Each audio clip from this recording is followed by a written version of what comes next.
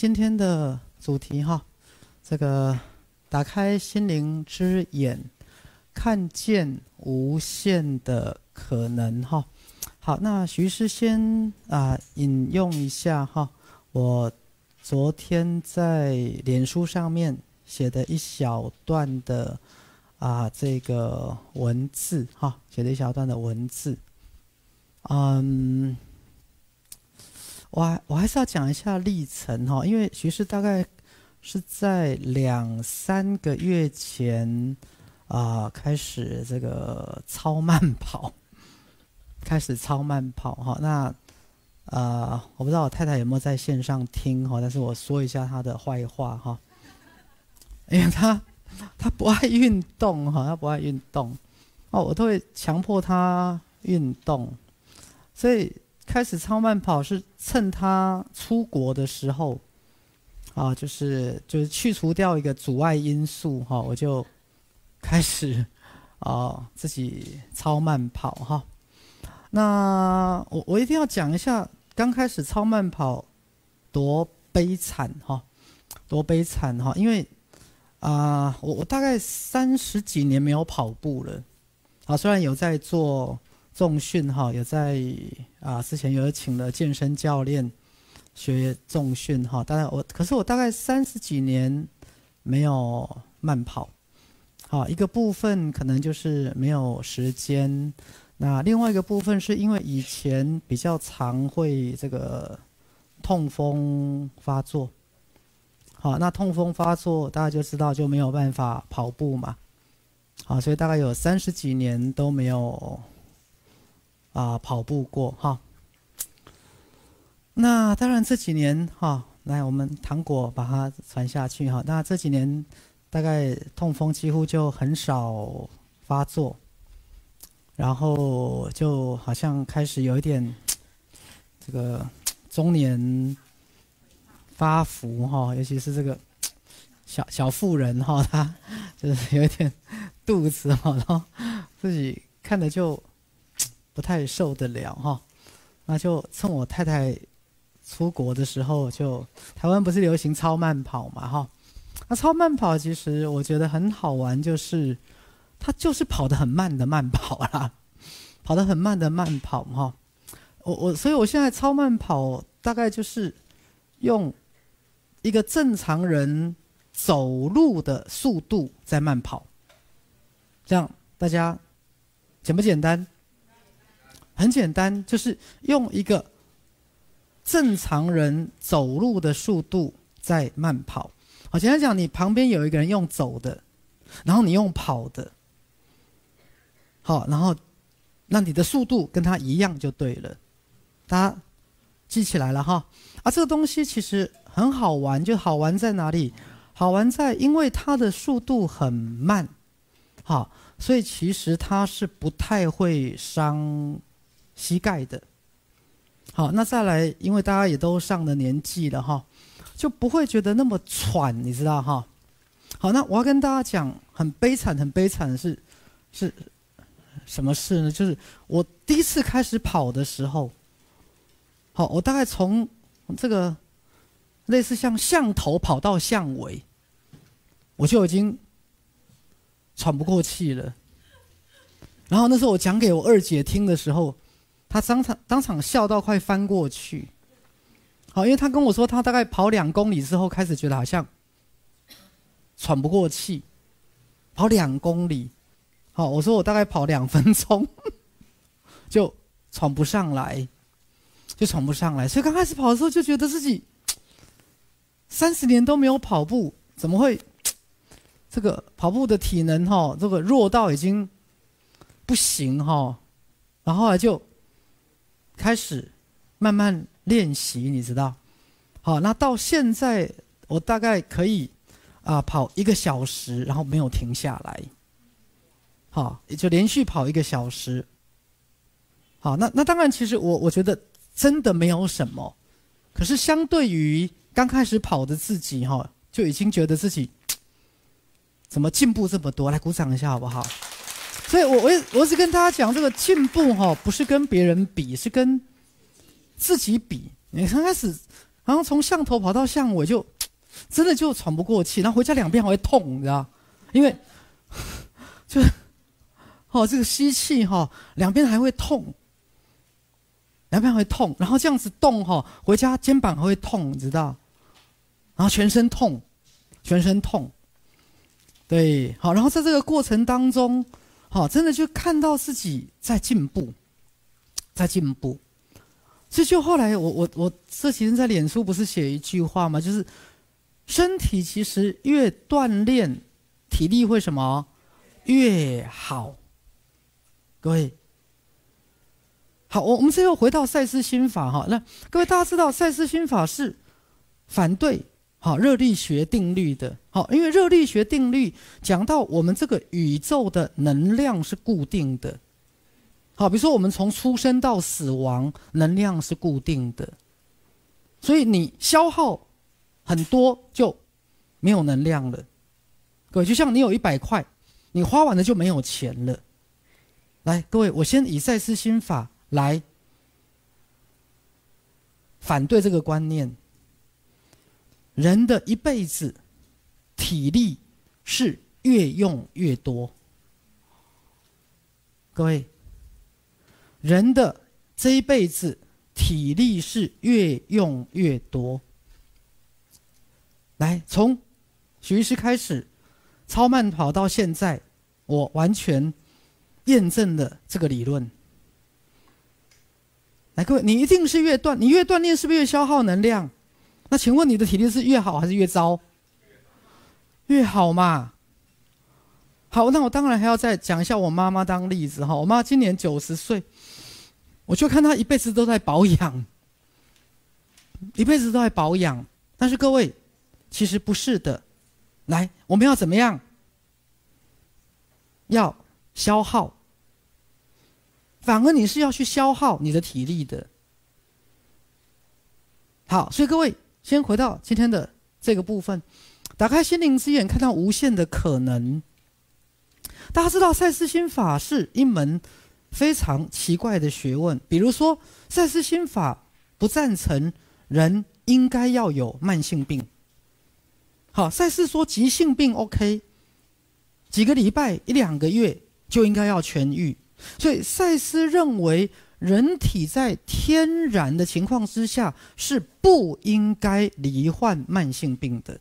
来，各位，这句话给我很大的震撼、启发跟刺激。因为他知道我是一个家庭医学科的专科医师，家庭医学科的专科医师，到后来就是完全在医治什么慢性病啊。那如果人一辈子得到慢性病，各位，那就是医一辈子嘛。就像高血压、糖尿病，有没有关节炎、心血管疾病？各位，好，甚至以前的 B 型肝炎，各位，它就是一辈子的事啊。好，可是我的老师。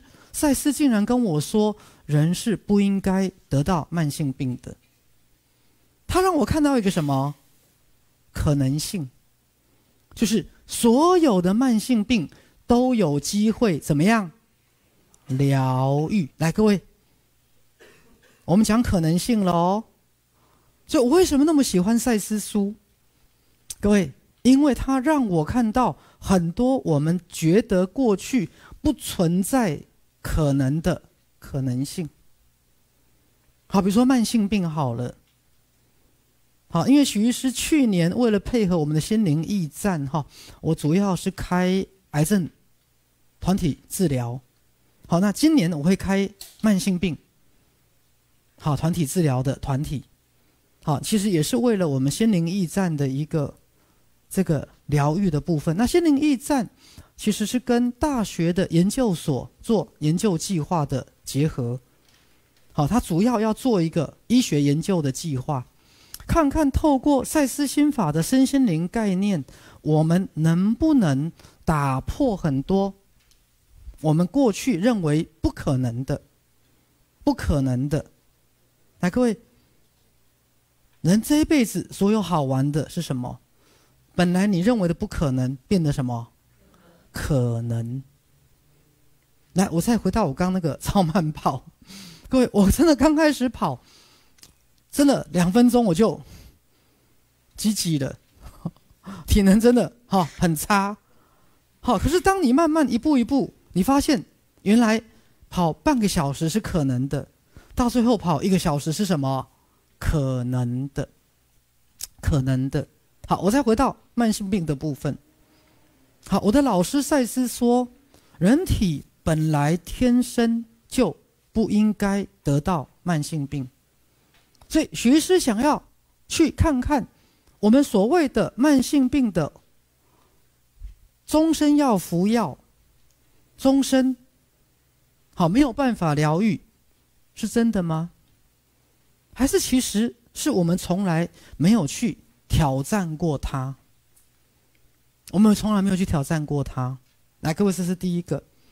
第二个，赛斯心法很挑战性的观念是：一般我们认为人应该随着年纪越大，体力越衰退，然后越容易体弱多病。甚至我们在医学上所有的医学的概念，都告诉我们人。因为年纪越大，所以免疫力会下降。来，各位说句实话，如果我没有学赛斯心法，我也会认为这是对的。人应该随着年纪越大，所以免疫力越下降；人应该随着年纪越大，越体弱多病。来，各位明白哈？但是后来学了赛斯心法。来，我也不这么认为了。我也不这么认为了。我不认为现在的徐医师很有趣。我不认为人应该随着年纪越大，免疫力下降。来，我问各位，比如说，来有没有一个九十岁的人体力比六十岁的人好多了？有啊，有啊，是啊。我们的社会可以有一个九十岁的人，体力、健康、免疫力比一个五六十岁的人好多啦。所以，所有我们过去认为理所当然的，各位，我现在觉得不一定了。好，我们好，常常有一句俗俗话，就是要活就要什么动。好，来，我们再回到。体力跟体能的部分，一个过了七八十岁而固定保持运动习惯的人，谁说他的体力跟体能一定要输给年轻人？来，赛斯书曾经举过一个例子，哈，有一个八十岁的老人，诊断是心脏衰竭，可是随着信念、运动。饮食的改善，竟然在一年之后，他可以不但不用做心脏移植的手术，他还可以参加马拉松的活动。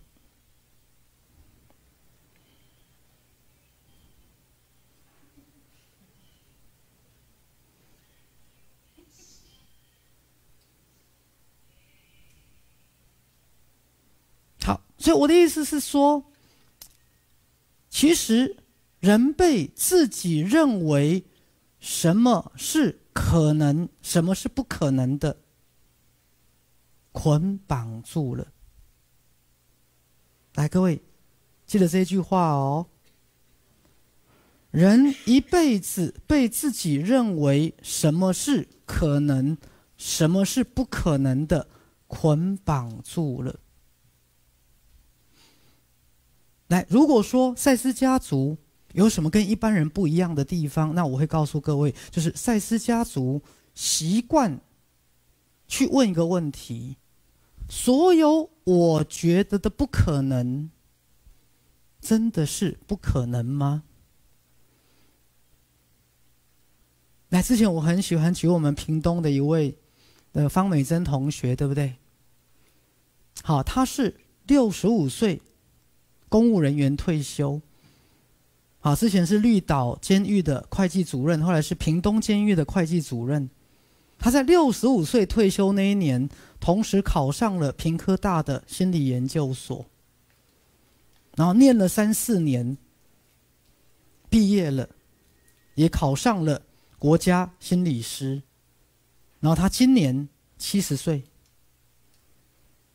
正式从一个会计人员转行当什么心理师。七十岁，各位七十岁，我不知道在座每个人都满七十岁了没有？好，所以徐师一定要告诉各位，我们一辈子让自己认为的可能跟不可能怎么样？限制跟绑架了。哎，赛斯讲过，所有一切的限制都是什么？思想信念的限制。所有一切的限制都是思想信念的限制。所有一切的限制都是来自于你觉得。什么是可能或不可能的？来，各位，你们好好仔细的想想看。来，我不讲你们，就是从你们去看你们周遭的每一个人。来，请问，今天如果有人是可以做到的，就表示他是什么？可以被做到的。来，没错嘛。来，我再举一个哈，也是我们屏东的例子哈，啊，像叫什么张淑慧同学是，他的学历只有国中哎，他是好，他跟徐师同年，好，一九六八，一九六八，各位他的学历只有国中毕业哦，来，在座随便阿猫阿狗学历应该都比他高吧？有比他低的请举手。只有国小毕业的，很难吧？OK，他是在去年去考同等学历，是同等学历吗？高中同等学历，所以他在去年去考高中同同等学历，所以在去年，哈，在二三十年之后，他拿到他的高中同等学历。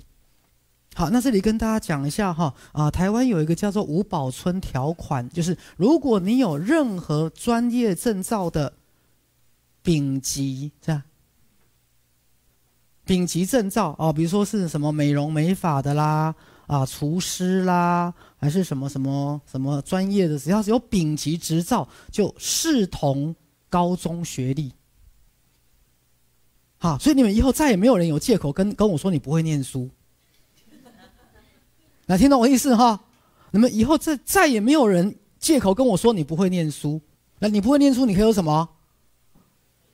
来，丙级厨师会不会？丙级洗头发的会不会？丙级美容美发的会不会？丙级的水电工会不会？丙级的通马桶的会不会？来，你只要任何专业的什么丙级证照，就直接视同什么？高中学历，所以你们再也没有任何借口跟我说你不会念书。来，明白了吗？好，然后张淑慧同学去年拿到了他的高中同等学历。好，然后去年参加大学联考，考上平科大社工系第一名。来，鼓掌一下。然后现在读的累的跟像条狗一样。各位，啊，跟学是同年次，他不能当今年过完年是五十七岁了，在去年同时拿到他的高中学历，因为他以前是国中学历而已。然后同时考上屏东科技大学的社工系一年级，所以从去年开始，他从大一开始念。大一开始念，来，所以我再跟大家讲，你们的小孩拒学症不念书怎么样？绝对没关系，到他五十几岁，他自己就想念书了。谁说念书一定要现在念？来，小孩子小学拒学怎么样？不要念。来，初中国中拒学怎么样？不要念。高中大学休学怎么样？不，通通不要念。等他到六七十岁，他就想念了，好不好？好，各位不要那么焦虑哈。小孩子拒学啦、休学啦，没关系的，没关系的。好，那如果有身心障碍，那就更好了。好，身心障碍学校就不能退学，只能让他一直念。好，念十年不毕业都没关系。啊，怎么样？他就是这样子。好，那都不要念，没关系哈。好，有身心障碍更好，学校不能够退学，让他念十年都没关系，慢慢念，慢慢念。OK，所以徐师在讲，今天徐师只要主要的讲座内容在于，所有你们过去觉得做不到的、不可能的，我要你们打问号。是不是因为我没有打开我的心灵，我没有打开我的信念，所以我没有看到那个什么可能性？来，徐师很喜欢打一个比喻，大家看过那个鲑鱼的回流吗？好，常常有很多影片，哈，鲑鱼的回流，然后就在很浅很浅的水往上跳，有没有？对，各位，当有第一只鲑鱼逆流跳上去了，就会有第二只。因为很多人看到什么？因为你做到了，就表示什么？我也可以做得到。来，各位，这就是哈一百只猴子的理论，从量变到质变。当有第一个人可以做到，第二个人就会觉得他可以做到，为什么我不能做到？来，所以我们要讲赛斯心法。今天其实所有 focus 的主题在于。所有你认为的限制，真的是限制吗？所有你认为的不可能的，真的是不可能吗？来，我记得之前看过一部美国电影，好，我忘记他他片名叫什么了。Anyway，他好像是一个成年人，好像三四十岁了吧，我忘记了。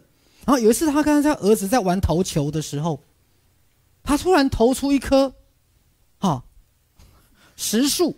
好，可能到九十几公里的啊，比如说，我不知道他一般投球时速大概多少了哈，反正就投出一个职业投手才投得出来的速度。可是他这一辈子从来没有投出这么好的速度过，所以后来好像是他是在三四十岁才成为一个职业的投手。各位，来，你们有没有觉得很奇怪？来，许师先讲个笑话。在座同学，也许当年你有机会成为体操国手，可是你现在三四十岁了，你会认为不可能的，对不对？各位，好，就算你胖的跟球一样，也是可以滚得很快呀。来，其实要说的是，所有你觉得的不可能，真的一定是不可能吗？来，我要各位开始思考这件事了。思考这件事。好，所以先回到体力的部分跟锻炼的部分。好，刚提到，以前你被催眠，你年轻的时候应该是体力最好，免疫力最高。随着年纪越大，应该越往下降。来，各位，学了赛斯心法之后，我不认为这是对的了。我不认为这是对的。好，也许我可以认为，我这一辈子，也许我是现在最健康啊，我是现在体力最好啊。各位，谁说不可以？搞不好年轻的时候你体弱多病啊。对，为什么你不可以？年纪越大，体力越好，免疫力。越健康，来谁说的？好，因为我们都被我们过去的信念所催眠了，我们被我们认为什么是可能的，什么是不可能所催眠。来，我再举个例子哈。前两天看到一个日本的研究报告，如果各位有看到这个新闻的话，成年人一个晚上睡超过八个小时对健康有害，有没有看到？然后成年人一个晚上要睡多久？大概五到六个小时，对不对？是最正常的。来，我还是要用用我妈讲笑话哈。我妈现在睡前其实有在吃镇定剂，当然是我开给她的了哈。其中一个很重要的因素在于，我妈妈在年纪大的时候，坚持相信她一个晚上一定要睡饱八个小时。当没有睡饱八个小时，她觉得自己怎么样？失眠。来，懂了没有？来，第二个哈，错误的观念是你一定要每天晚上睡饱八个小时，你才叫没有失眠。第二个非常错误的观念是你一定要一点十二点前睡觉。否则对身体不好，各位，邪说、胡说，我就很少超过一点前，我就很少在一点前睡睡觉的。邪说、胡说，明白了吗？来，我告诉各位，如果你们坚持，你们一定要睡饱八个小时才是正常的。你们每一个人过了四五十岁，你每个人都失眠。然后你就坚持，你一定要吃安眠药。好，比如说徐师有一个，好，这个老太太来跟我说，她要拿安眠药。我我说你为什么要拿安眠药？她说她可能十二点睡，啊，六点就起来了，五点就起来了。说十二点睡，五点就起来了，这不是失眠呐？五个小时够啦。各位，五个小时怎么样？够了。他跟我说，那起来干嘛？我我管你要干嘛？洗碗拖地。慢跑，各位，所以后来很多年纪大的人，你是怕时间太多是？各位懂我的比喻哈？年纪大的人十二点睡，五点起床，很正常啊。可是你就要催眠自己什么？我一定要睡到八点才是正常的。然后睡不到八点就什么？就失眠了，你要吃安眠药。各位，不好意思哈，骂人一下，你有病哦。你有病，难怪你越睡越笨。各位，你要记得，有时候人是越休息体力越差，越睡越想睡，听懂哈？等一下，我这会再解释。所以很多老人家来找我拿安眠药，不好意思，吃屁呀！你完全观念错误，你坚持你一个晚上一定要睡八个小时，这是错的。来，各位，我告诉大家。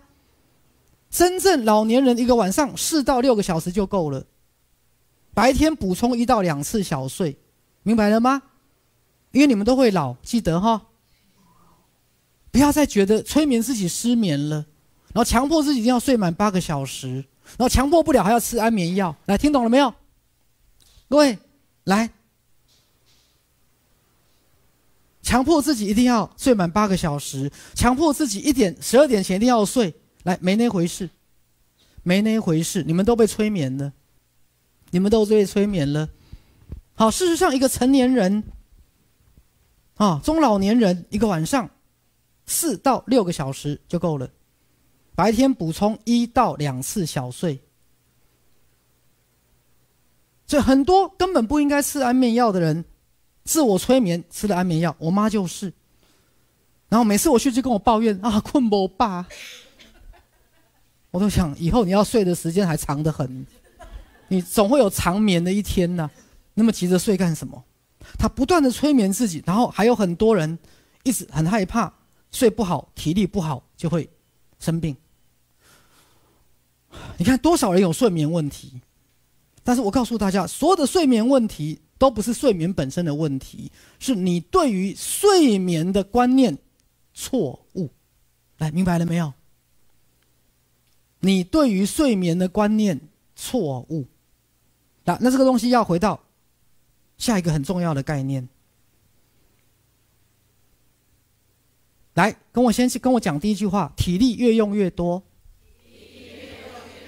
来，这个部分大家应该没有问题。再来，时间越用越多。所以，越会把握时间的人，时间会越多。来，各位，你仔细想想看，在你这一辈子最忙的时候，你从早到晚做很多事，你会发现一天怎么样？很长。可是你慢慢年纪大或退休，你在那边偷懒、打盹、睡觉，你会发现一天怎么样？很快，什么事都没有做，就就过去了。来，发现了没有？好，我先告诉大家，因为大家一般物理的角度会觉得。时间是一个固定的量，来，我先从赛斯心法告诉各位，时间不是一个固定的量。一样，你一天二十四小时，我一天二十四小时，错。来，我从赛斯心法的心理时间的角度告诉各位，错。你的二十四小时不是我的二十四小时。我我自己也有发现哦，当我什么事都没有做的时候，很快就天黑了啊！怎么一下子？对，所以为什么很多老人家觉得时间越过越快？因为他怎么样？什么事都没做，什么事都没做，时间就越来越少，越来越少的意思是什么？时间越过越快。所以为什么大多数人都觉得年轻的时候时间过得慢？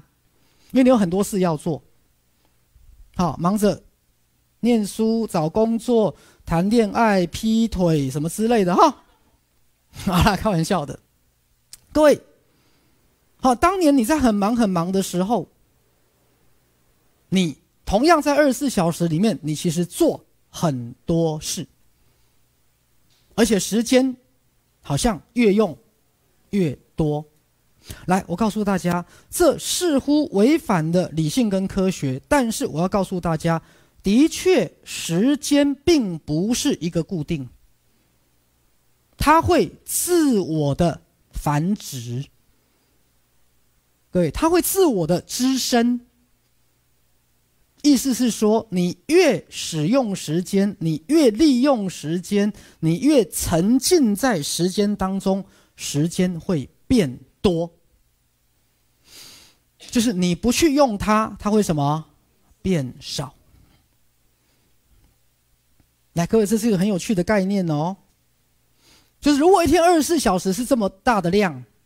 你去使用它，它会怎么样？变多。你越不用，它会怎么样？变少。好，你们试试看，你们试试看。好，徐师是在讲一种主观感受。好，因为你以为一天二十四小时是固定的，我现在告诉你不是的。二十四小时好像是一个固定的量。好，尤其是你去观察你的日常生活，尤其观察年轻人跟老人家。对，老人家其实很多时候退休就几乎什么事都没有在做，时间越过越快，然后时间越来越少。各位，好，你们开始记得这个概念。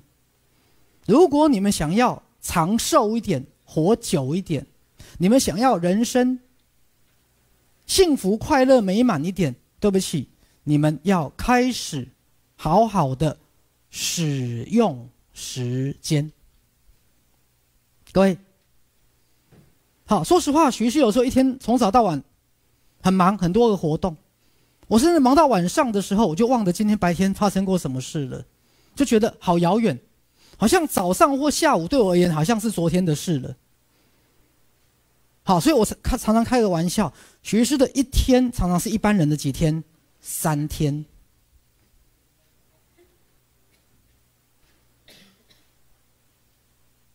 来，我先讲个笑话，什么都不说，就表示我的收入会是一般人的什么三倍。来，我说的不是你都花在赚钱的意思，我不是这个意思。好，所以常常我会觉得我的的一天是别人的几天。三天，别人的三天，好，所以我再跟各位讲一个好，跟逻辑理性逆反的一个概念。当你慢慢打开你的心灵能力，好，尤其是哈，刚刚那个营运长跟大家讲，我们今年台中的总会哈，主要的目标就会是做什么魔法教室，就是协助所有人打开内在的心灵能力，包含内在的什么爱。智慧、慈悲、创造力、喜悦跟什么神通？好，这是今年哈，未来我们台中总会所有的目标，所有的目标。好，刚刚营运长哈有跟各位来提到这件事，好，把我们的魔法教室所有的一切，所有的一切都在朝向这个目标。好，我再回到时间，所以你的一天跟别人一天不是同一天。时间看起来是一个固定量的一个东西，但是不是，它其实是一个越用越多的概念。来，各位，我知道我讲的东西违反了物理特质，但是如果我这样讲，假设以相对论的角度来讲，有没有发现？来，相对论说什么？物体的速度越接近光速，时间越什么？越慢。物体的速度越接近光速，时间越慢。如果一个物体有办法用光速移动，基本上相对论上来讲，它的时间跟你的时间就完全不一样。就是你的时间完全静止，你的时间对他而言完全静止。比如说，他用光速去外面旅行，哈，三十年回来，你只过一秒钟的概念。来，明白我的意思哈？他去外面旅行三十年回来，你只过了一秒钟。好，那学士常跟各位讲，那就好像那些神怪小说，或是天上的那些什么神仙，有没有？天上一天，人间一年，因为是不同的多重次元宇宙。好，所以很多哈网络小说啦，或者前道家的哈什么那个啊黄粱一梦啦、南柯一梦啦，其实他讲的就是多重宇宙的概念。多重宇宙在古老的道家早就讲了，各位，天庭，好南天门。好，它本来时间的流速就跟人间不一样啊，因为本来就是不同度的空间呢，不同度的空间，时间流速本来就不一样，本来就不一样。OK，所以从心理时间的角度，从速度的角度来讲，各位，时间是相对的。所以如果从心理时间的角度来讲，时间也是相对的。各位，来，徐师讲个例子。那请问每个人的老化速度一不一样？不一样啊！好，真的，有的人从很年轻就老可以来淡嘛，哈。每个人老化速度真的不一样啊。那尤其是现代人，现代人其实不太看得出年纪耶。好，随便一个阿猫阿狗，你各位你更不太猜得出他的年纪。是啊，好像徐师今年过年多少？五十七岁。好，五十七岁，好，我我不敢说多年轻多年轻，但是相对于我们以前小时候，觉得一个五十七岁的阿伯有没有？来，观念有没有很很错乱？各位，可是五十七岁，各位，那是因为我这一辈子都在保养吗？我这辈子都在那边，哈，静止不动，然后能量不消耗吗？各位，来是还是不是？刚好相反。刚好相反，各位，来，我用相对论的角度，因为我的速度更快，我做的活动更多，所以相对上我老的越什么越慢。来，有没有发现错乱了？有没有发现错乱了？各位。你会觉得错乱了哦。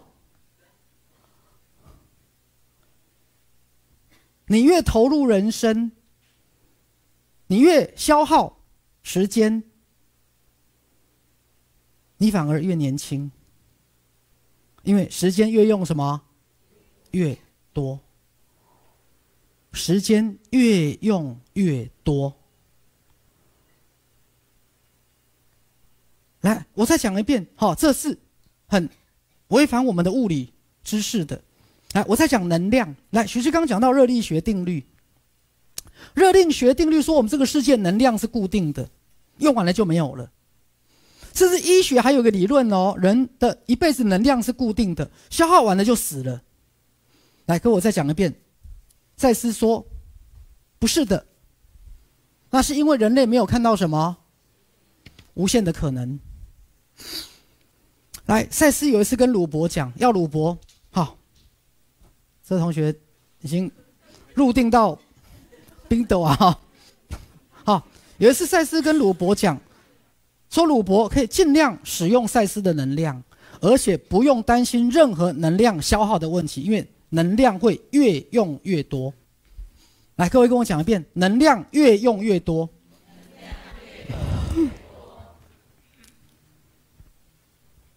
来，各位，好，能量会越用越多。我刚刚讲第一个，它违背了我们认为的热力学定律。来，热力学定律叫熵。好，大家去查“熵”这个字，就是宇宙的能量是固定的，用完了就没有了。一个火在一个商人的商，火字旁在个商人的商，商业的商，对。好，你去查这个字的定义。好，热力学定律认为宇宙的能量是固定的，用完了就没有了。我刚刚也跟大家讲，有一种生物学的理论也认为，一个人一辈子的生物能是固定的。各位，你用完了就没了。那按照这个理论，你这辈子应该要谨小慎微，减少能量的消耗。你应该每天都这样慢慢动，像那个树懒是。那个树懒哈，你看一辈子都这样慢慢动，来减低什么？减低能量跟热能的消耗。好，然后你这一辈子应该是能坐就不要站，能跑哦，能站就不要跑。来，各位，可是是这样吗？好，如果一个人一辈子的生物能是固定的，那么你现在的速度。减少到十分之一，你就可以活到十倍的寿命。来，各位是吗？绝对不是哦，绝对不是哦。好，所以我在讲一个概念：人一辈子的能量是一个定量，用完了就没了。这个观念是什么？错的。来，各位，我先告诉大家，宇宙跟上帝是很聪明的。你负责要用多少，他就给你多少。各位，你这一辈子打算用多少能量，宇宙跟上帝就给你多少。来，我常常讲到发电的原理。来，各位，你们知道，比如说今天台湾电力公司，他决定今天要发多少电？你们知道他决定用什么决定吗？他评估今年全台湾用多少电，他今天发多少电？各位懂我意思哈？台湾电力公司是评估今天全台湾要用多少电，他今天发多少电。因为如果今天全台湾用九十万度电，他发一百万度电，那另外的十万度怎么样？因为，哈，电是无法储存的。我再讲一遍，能量无法储存。当然，特斯拉电动车那个电瓶哈，那个也是要。另外考虑了，因为它把电池储存起来。但是各位你要知道，宇宙能量是无法储存的，它会转化。好，比如说太阳能有办法储存吗？没有，它转成什么？植物光合作用变植物能，变成淀粉。来，明白了没有？所以能量无法储存，只能什么转换？各位。大自然的能量无法储存，只能转换。好，举个例子来讲，有一次我去深圳上课，好，然后他们屋顶整个铺的全都太阳能，然后我一上去，我说啊，这个什么，每一台冷气全都开，而且都开到最冷。我说你们这样很浪费电呢，整栋每台冷气都开，而且都开到最冷。他就跟我说：“徐医师，你有所不知啊。”好，我们今天照的太阳呢，就是这么多，我们不用完，也全部都好散掉。好，因为没有办法把它存在电池，又没有办法把它输送给别人用，明白了哈？因为没有串联嘛。好，现在有一些那个那个光电哈，余电共生啦，或是太阳能板，还可以卖回给台电。好，那如果没有卖回给台电，就是你今天太阳能板发多少电，它就是。你用多少，就用掉了；没有用的全部怎么样？全部放电放掉。大家这样有没有概念？所以能量无法储存。好，所以你们那些胖的人哈，要注意了哈。能量储存，我没有在说你不要瞪我，因为你与违反了宇宙的定律。你试图储存能量，但是能量是什么？无法储存的，它只应该被利用，它只应该怎么样？转换。第一个，能量要被利用；第二个，它要转换，把太阳能转成淀粉、生物能，或把以前的。过去的生物能转变成什么？石油。各位，好，但就电本身就能量来讲，它是一个能量的循环。好，我们再讲一个概念：体力越用越多。来讲一遍。好，那各位你就跟我说啊，为什么我每天拖地腰酸背痛？因为你是不甘愿的啊，你是不甘不愿的，因为一边拖一边为什么我要拖地？为什么我要拖地？来，各位，所以这是心态不一样，有没有？心态不一样，所以体力越用越多。当你是用在一个快乐的、喜悦的，好，能量越用越多。讲一遍。能量越用越多。来，所以学士一定要告诉各位，好，赛斯心法没有退休的概念，你可以从你的工作上退下来，但是你应该要开展更。有创造力的人生，不管那个东西有没有带来金钱的收入，来明白我的意思。好，比如说我看我妈妈活到九十岁，说实话，我妈很很可惜，每天都在休息。各位明白我的意思？每天都在休息。好，我的意思是说，如果他更愿意动起来，他更相信他越使用能量。宇宙会给他更多能量，他今天会越健康。哎，我今天讲到台台湾电力公司的理论，台湾电力公司就是评估今天全台湾的电力使用量大约多少，所以他就发出大略多少的电让你用。来，各位，我把上帝跟宇宙比喻成电力公司，你这一辈子打算用多少电？表示什么？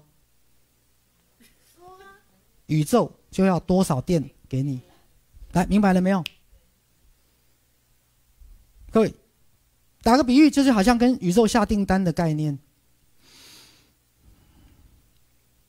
你这一辈子打算用多少体力？打算用多少时间？宇宙就准备相对应的量给你，用你觉得你要多少？你觉得什么是可能，什么是不可能的？来，各位，所以能量会越用越多。来，我再先来举一个过去啊，东方的宗教修行的观点：享福福尽，福尽祸来。他们也认为人一辈子的脾气、一辈子的福气是一定的，用完了就没了，哎，对不对？所以各位，很多人有幸福恐惧症，好，就像帕金森氏症的感觉。万一朕这一辈子都只能当皇帝怎么办？怕今生是朕，怕这一辈子都永远只能当什么？朕，朕是皇帝嘛哈？怕今生是朕，所以在东方的哲学里面，你会害怕自己太享福、太幸福，因为你会觉得，第一个那些不幸福的人怎么办？第二个。啊，享福福尽，福尽什么祸来？各位，所以有时候你会有幸福恐惧症，你会有丰盛恐惧症。我太丰盛了，万一把福用完了怎么办？福气用完了，是不是下辈子就没有福气了？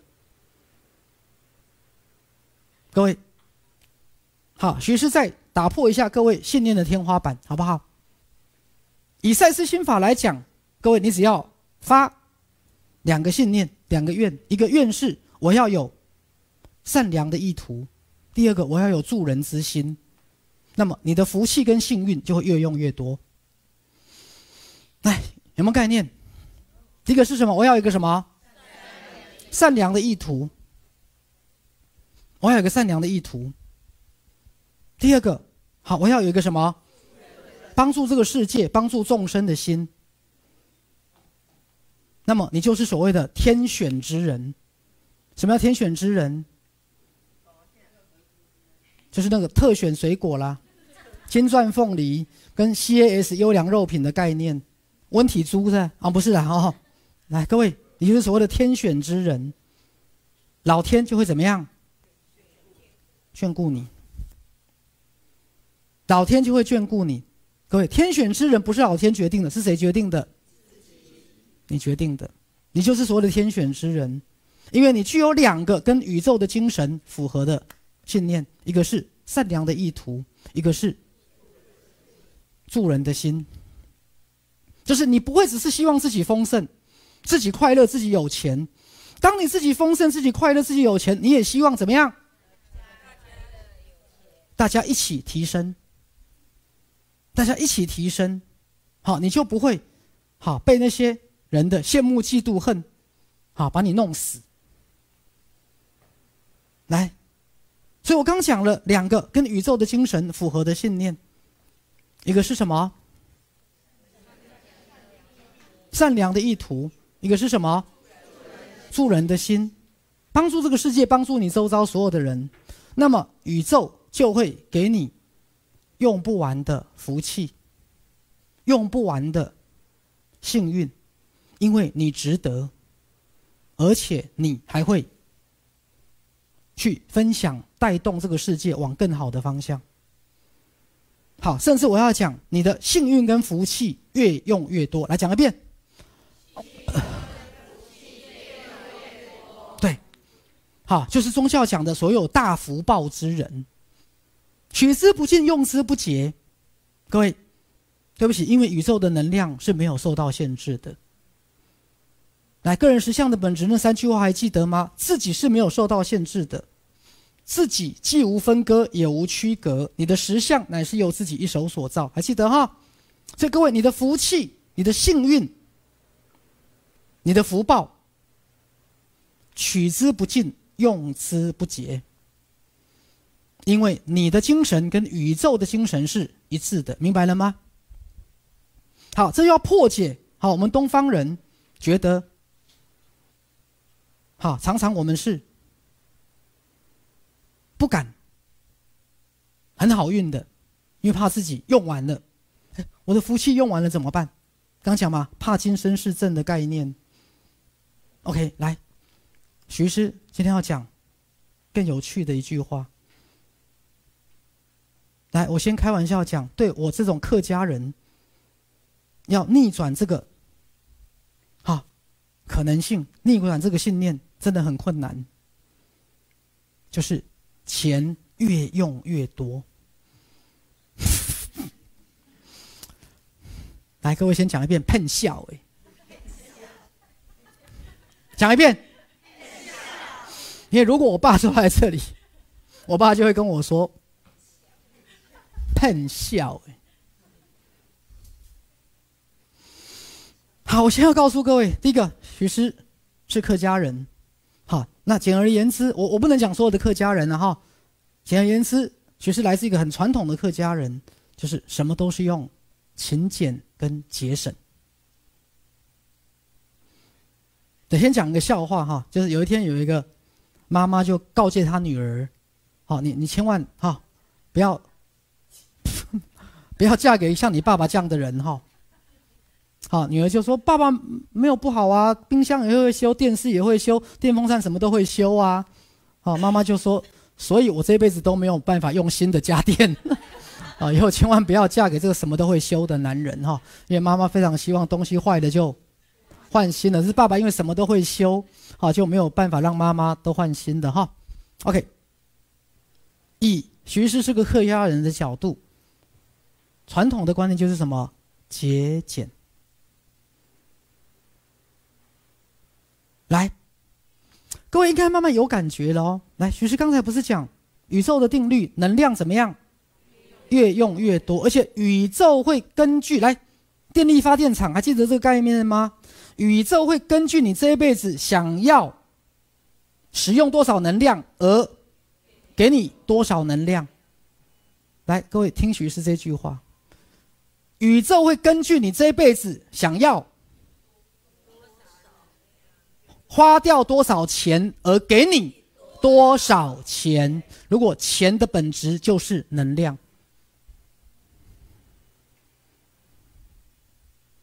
我知道我今天讲这些东西很有趣，它会完全逆反了各位的观念。来，就像我以前上课的时候跟大家讲过，一般平民百姓或穷人，每天都在想着怎么样赶快欠把欠银行的钱还给银行，对不对？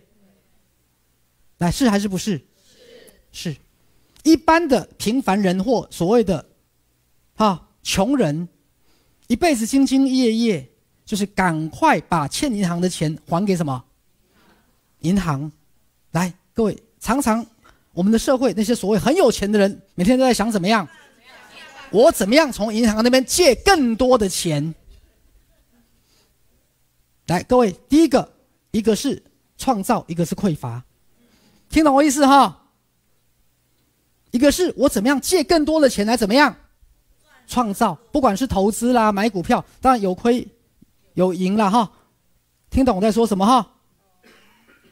来，但是各位，我先讲，徐师绝对不是鼓励各位浪费乱花钱，我绝对没有那个意思。我也不是鼓励大家一辈子都要追逐世俗，我不是那个意思，我不是那个意思。但是回到我刚讲的，常常一个我们的社会的穷人，每天都在想，我赶快要把欠银行的钱怎么样还清，因为好像很怕欠人。来，那些有钱人。巴不得从银行怎么样借越多钱出来，他不怕欠银行，他借这么多钱出来，他要干嘛？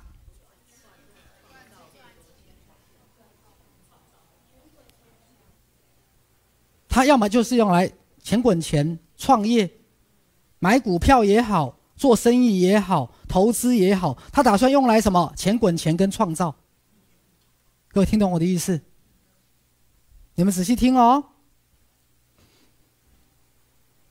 所以有没有一点靠近徐师刚讲的钱越用越多？来，我记得以前很久之前跟大家讲一个，好，这个啊，西方的这个基督徒很喜欢讲的故事，好，比如说一个人啊，劳碌了一辈子，最后到了天堂，有没有？然后上帝就带他参观所有天堂的啊每个地方，然后最后交代他，有最后面那间房间你不要进去。好，那人就是很奇怪嘛。你交代我不要进去，那就是告诉我要想办法偷偷摸摸一定要进去吧。后来他过了好几个月，他终于受不了了，开了门进去，里面是一辆很漂亮、很漂亮的劳斯莱斯。后来就问上帝怎么一回事，上帝说那一辆本来是你活着的时候要给你的。他说没有没有，我这辈子都是有开玉龙啊。啊，后来上帝说，因为你没有要啊，因为你觉得你这辈子不可能。可以开劳斯莱斯，你觉得那是不可能的，所以本来他是要什么给你的，那是因为你用不着，不敢要。来，徐师开个玩笑，你们用不用得着很多钱？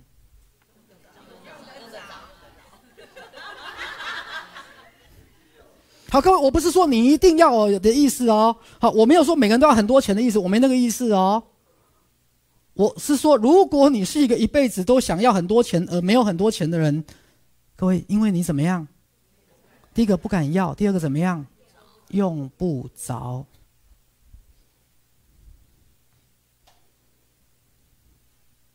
第一个，因为你不敢要；第二个，你什么？用不着。因为你用不着，宇宙干嘛要给你？宇宙不会给你你用不着的东西。来，各位，你们用不用得着很多钱？好，我是用金钱作为象征跟比喻。好，我不是说钱代表一切，我没那个意思哈，各位不要误会。好，所以一个很奇怪的理论，我以前跟大家讲过，过去内政部的统计，台湾人平均把房贷还完是。七年，内政部的统计，各位，你们常讲房贷都是二十年、二十五年嘛？可是你们知道平均台湾人多久把房贷还完吗？根据统计数字，之前是什么？七年。来，为什么？因为当你还得起房贷，还着还着，能力就会什么？提升，就越还越快。当你觉得自己做不到，你就做不到。来，明白了没有？当你觉得你做得到，当你觉得你必须做到，来，所以各位，房贷有几个好玩的想法。第一个就是乌奴嘛。第二个，我想试试看，我一辈子，我一个月可以存多少钱呢？我想试试看，我一个月可以存多少钱？不是我一个月可以还多少钱给银行哦，各位。因为你的房子价值是在那里，所以我常跟很多人讲：如果你要买房子，如果你要买买买房子，你不是欠银行钱，你是什么？你是在强迫自己存钱。当然，你不要最后每天都在存钱就没有钱花，好，那是你自己的问题。好，所以如果你是买房子的人，各位，你不是欠银行钱，你也不是在还贷款，你是在干嘛？存钱。所以一个背房贷，比如说一个月背五万的人，我就说哦，你好，你很棒哦，你一个月可以存五万。啊，这个人房贷一个月背十万哦，怎么样？你一边一个月可以存十万，各位明白这个比喻哈？你用这个角度去想，各位，好，我回到刚那个概念，当你。觉得你一辈子能赚到的钱就是这个定数，那么你这一辈子就是这样的钱的。来，之前徐师介绍过大家看一本书，叫《自我形象》，好，整容术，它其实就是内在你对自己的看法。来，回到刚刚那个比喻，你这一辈子你打算让多少能量流过你？来，刚电力公司的比喻，你使用多少电，宇宙就会发多少电给你。来，所以如果从这个角度来看，有钱人跟穷人的差别，在于他的流动量的问题。流量，对，一个是这么细，一个这么粗。因为能量是什么？流动的，各位记得，能量是什么？无法储、无法储存的。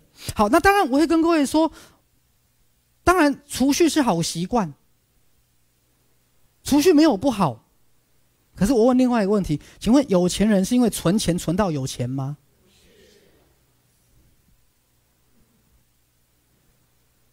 那当然我不会说储蓄不好，对，哥我没那个意思。好。但是有钱人是因为存钱存到有钱的吗？所以我先讲，我不反对存钱，可是理论上应该是存了钱之后，用这笔钱去怎么样？流动，流动。所以如果加上心灵的概念、丰盛的概念，来，各位，这这三个字很重要哦。心灵、丰盛跟创造。好，以自我意识来讲，我我我会同意。哎，钱当然用就没啦，你当然要节省啊。钱当然就是一定的数目嘛，你一百万花花花就没啦。各位，以自我来讲，的确是这样子。但是徐师今天讲的不是自我，是什么？心灵创造丰盛。来讲一遍。对，好，以心灵创造丰盛来讲，我要告诉各位。钱越用越多。好，今天在开主任会议的时候，我也跟大家讲，以前我一直觉得很矛盾的一件事。来，我们讲美国。大家知道，到目前为止，美国还是这个世界上最强大的国家。好，美国人也的确很有钱。好，当然，美国现在物价真的也很高了。好像最近一个什么大麦克汉堡，在加州，好，这个超过新台币五百块了，一个汉堡。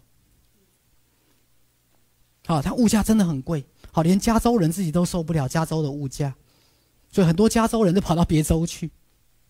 OK，一个大汉啊大麦克汉堡，好，新台币五百多块。好，加州开始什么都很贵。啊，各位，到目前为止，美国是这个世界最富有、最强大的国家。那以前我们都会笑话他们，美国是一个什么鼓励消费的国家？你们有没有发现？你们多少有点概念？以前我们觉得最不可思议的是，一个美国人连洗衣机、冰箱，全都是什么分期贷款。等于说，举例来讲，他只要没了工作、没了收入，全部都要被搬走。美国，各位，像我一个个个个案住在哈洛杉矶，他跟我说，其实美国人很穷的，一个美国人随便家里哈那个哈绝对不会超过哈这个一万新台币。我说一万美金吗？没有一万新台币，不会。家里不会有钱，户头甚至不会有钱超过一两万新台币的。美国人很穷的，各位很有趣。美国是一个不鼓励储蓄的国家，他们一切是以什么消费做导向？消费做导向。我一直在思考为什么。他们比较浪费吗？比较笨吗？来，为什么？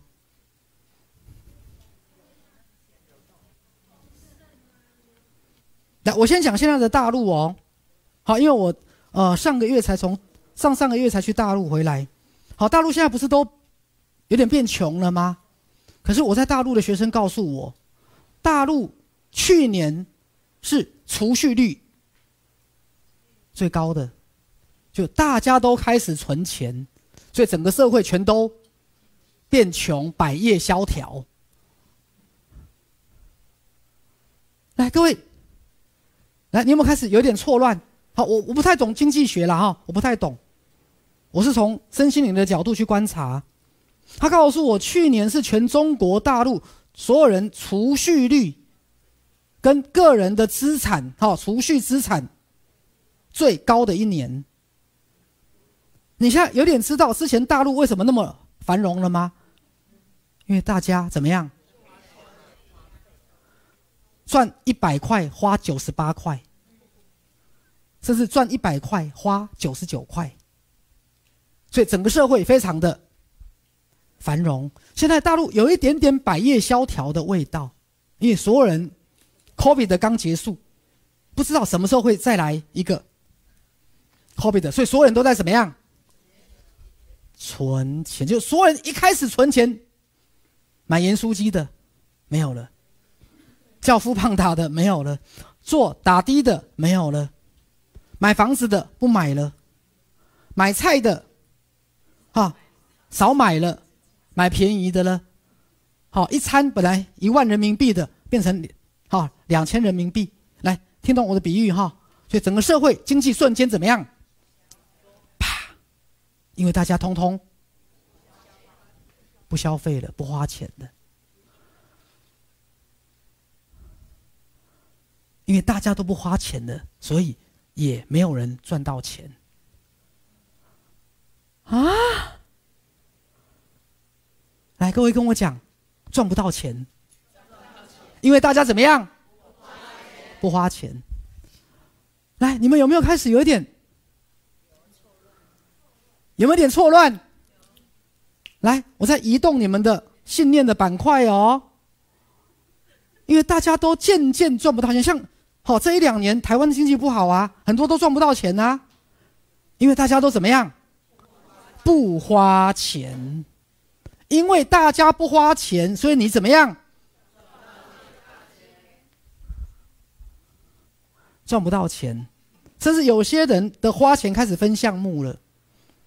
好，像那天徐师从，啊，马来西亚回台湾，啊，因为我现在以前都自己开车，现在都坐机场接送了哈。那天机场接送跟我说，当日中正机场出国人数十八万，当日十八万，然后要叫机场接送叫不到，各位叫不到机场接送，好，后来来载我的那个行行政人员，他说没有司机，行政人员自己要来开车。我说景气怎么样？好的很啊。所有机场接送的司机通通不够用。还有最近看到个新闻，国泰航空，好，之前不是机位超卖吗？好，然后再要飞哪里的回来没有飞机啊？因为国泰航空需要三千个机师，现在只有两千个。各位，赶快去学开飞机。对啊，好，他需要三千个机师，现在全部国泰只有两千个机师的缺额怎么样？一千个。来，各位，当大家都不花钱的时候，你就赚不到钱。来，各位，现在知道徐师在说什么了吗？能量要怎么样？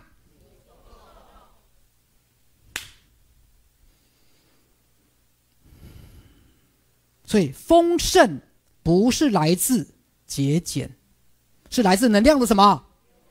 但是这个流动，我说的是健康的流动，不是乱什么乱买哦，那，那那种哈浪费的那种流动哦，各位好，那叫做乱乱乱来哦。丰盛是来自能量的流动，因为大家如果都不花钱的，你就赚不到钱。卖鸡排的赚不到钱，开计程车的赚不到钱，好，卖衣服的赚不到钱，因为你不买新衣服了。是啊。来，我先讲一遍，我不是鼓励大家浪费，我在讲能量的流动。好，啊，另外一个很重要的，我们讲大自然。大家记得徐氏医生哈，我最喜欢举女性当例子。女性，比如说从十五岁到五十岁好了，这三十五年，每个月都会来一次嘛？来次什么？月经。那月经是什么意思？每个月二十八天的周期，子宫内膜充血。好，我们今天还学到一个名言哈：男女交往可以滚床，但是不要着床、着床。这是谁发明的？哈，就男女交往，我喝个水哈，很好笑。我听到他们在聊天，好，可以炒饭是，好，可以滚床单。好，但是不要什么着床。女性二十八天的月经，每次月经都要子宫内膜整个充血，用人体最营养的子宫内膜血管。好，可是如果这一辈你这个月没有滚床，没有着床。整个子宫内膜怎么样？全部不要。各位来跟我讲一遍，不要。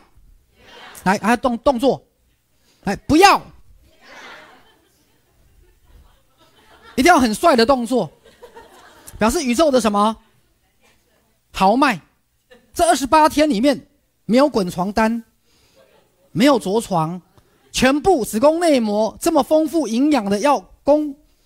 哈，着床的要供，胎儿的要供，胚胎的全部怎么样？不要，各位一定要比一下动作。他通通不要，他通通不要，然后结束了之后怎么样？再来一次，来，各位有病啊，有病啊，身体有病啊，宇宙有病啊，为什么？因为第一个他不怕浪费。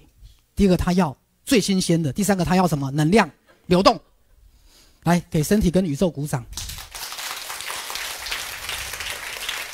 来，除非我讲错，来，对不对？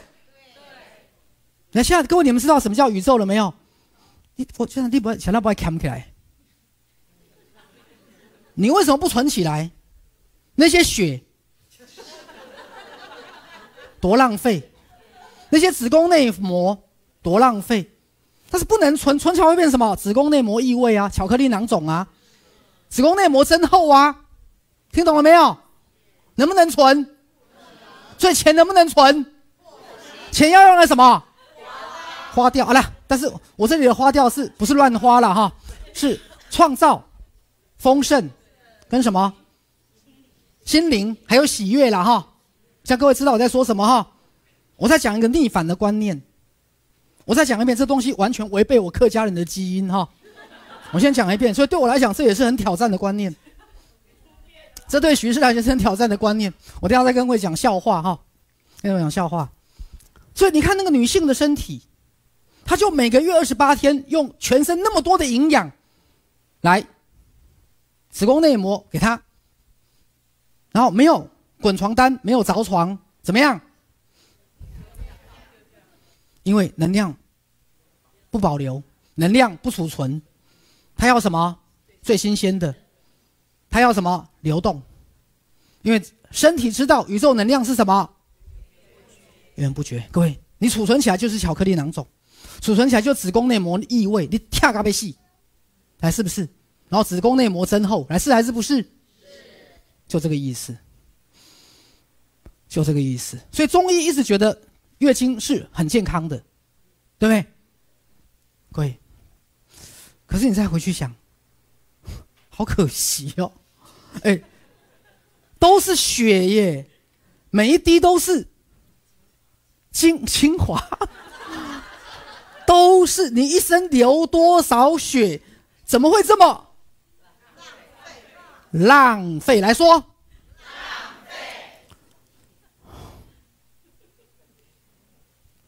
各位，他他下面开始有一种僵的感觉。来，因为能量就是要流动，它不储存。好，那我先跟各位讲，我不反对各位存钱，但是存钱最后的目的是要怎么样？让它怎么样？流动，记得能量要流动，而且能量是源源不绝的。你流动的越好，创造力越旺盛，宇宙给你越多的能量。好，我再讲，比如说植物，大家知道植物有花粉吗？来，植物每一次几个花粉，成千上万，最后几个花粉会受精，其他全都怎么样？浪费掉。来跟我讲，来各位，我就是要各位那个阿萨里有没有？所以这句话很好笑，宇宙是奢侈的啊。各位，对，好拽，来来，我这个东西要结合赛斯心法，我们是被宇宙恩宠的，宇宙的能量是源源不绝的，我要结合这几个赛斯的观念。各位，好，一朵花花开了，来，有多少花粉？成千上万，最后几个花粉受精结成果实？各位，没几个。对，是啊，来，徐师再举男性，来，男性一次射精。精液大概几 CC？来，那个 A 片看多的，三到五 CC。精虫数大概多少？两千万到一个亿。两千万到一个亿。来，终其一生，一个男人生几个小孩？来，那个许同学，你生几个？你生一个。你给我算一下，你这一辈子几个精子？你从你开始会梦遗的那一天。你从你开始会梦遗的那一天，你第一个当然你会射精嘛，第二个你久不射自己也会，床单就排掉了嘛，梦遗嘛。好，你一辈子射过几次？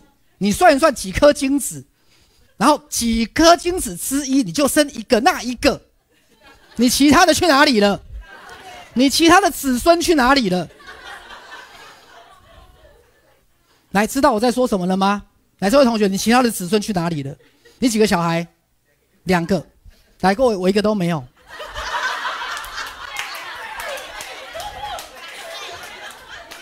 对，简直就淹掉就好了。要干嘛？听懂我在说什么哈？来，我们讲笑话，你喷那么多要死哦，有什么用？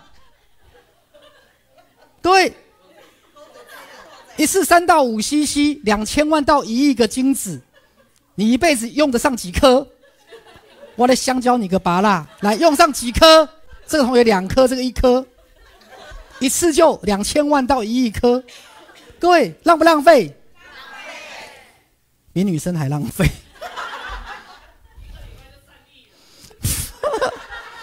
你们家穿穿一个礼拜就三亿了，各位浪不浪费？所以我一直在告诉大家，宇宙是什么？丰盛的，丰盛的。来，我不是在讲浪费，我是说对比宇宙的丰盛的本质，这些东西算什么？所以各位来讲个笑话，你们穷成这样子是罪恶啊！难怪以前基督教会觉得穷是罪恶，对，有没有？基督教有一个他们的观念，穷是罪恶，但我没有这个意思啦，我没有这个意思。那现在各位有点知道这个比喻的意思吗？各位来。现场最罪恶的是谁？我说的不是金子，我说的是钱。来，现场最罪恶的是谁？不罪恶不？来，各位，宇宙的能量这么的丰盛，结果你竟然只用两颗，只用一颗，我没半颗，有够罪恶的。来，浪不浪费？来，各位，就像鲑鱼卵有没有？我们去吃那个鲑鱼卵，来，一只雌性鲑鱼一辈子排多少鲑鱼卵？那几颗最后变成鲑鱼？各位，你看十万颗里面有没有十颗？那其他都怎么样？都变寿司郎的，哦，回转寿司。来，各位这样明白了吗？所以我要讲一个什么？第一个，宇宙的本质是什么？来讲健康，讲时间，讲能量，讲金钱，讲丰盛，明白了吗？来，我讲回到今天的主题，所有这些东西都是因为我学了赛斯之后，我才看到这些无限的可能。好，我跟大家讲，我跟各位一样傻眼了。我再讲一遍，我们是一个客家人。好，我爸是那种鞋子开口笑会拿针线重新再缝的人。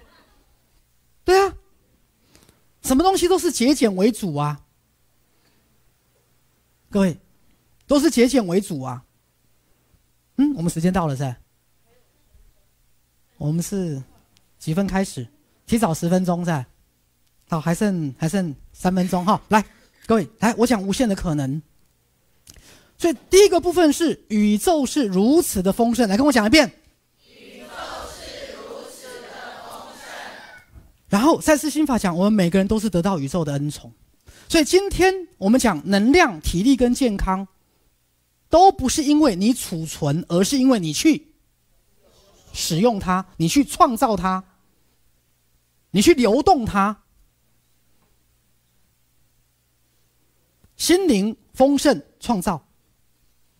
好，所以我一直在震撼这个观念，因为它实在太逆反我们一辈子的认知了。啊钱不是就要存起来吗？啊，钱不是越用越少吗？后来我比对了我周遭的个案跟亲戚，我发现真的是这样子。当一个人提升了自己，他本来认为自己可能只能买一千万的房子，他提升上来，认为他可以买得起两千万的，后来他真的买到了。来，各位知道我的意思吗？就是当你提升了你对你自己的信念，你提升了你对自己的看法，你真的。就觉得自己是可以做得到的，这就是赛斯心法讲的什么信念创造实相。信念创造实相，You create your own reality。所以今天你能做到什么地步，你能够一辈子有多少丰盛，是由你的信念所决定的。各位，甚至你们上了年纪，老化的速度多快，健不健康，也是由你的什么决定的信念。是啊，好，所以今天大概时间差不多了，徐师跟各位讲几个逆转的部分。第一个，老人家，对不起，不要休息，体力活动怎么样？越用越多，头脑怎么样？越用越好，可是没错嘛？大部分人的头脑不用变笨的啊，对啊，头脑一定是越用越好啊。再来，宇宙的能量，因为它的丰盛，我们是受到恩宠的，能量一定越用越多。再来，我刚讲了，财富跟经济，你要去创造，你要去使用，来用在什么？创造喜悦跟丰盛。然后大家跟我念一遍：钱越用越多。好，二零二四的今年的一开始，把这句话送给大家，谢谢。如果你喜欢这支影片，请按赞、订阅、分享并开启小铃铛，支持赛斯教育基金会，支持赛斯网络电视台，让我们用不一样的角度一起看世界，来体验共同创造的一切。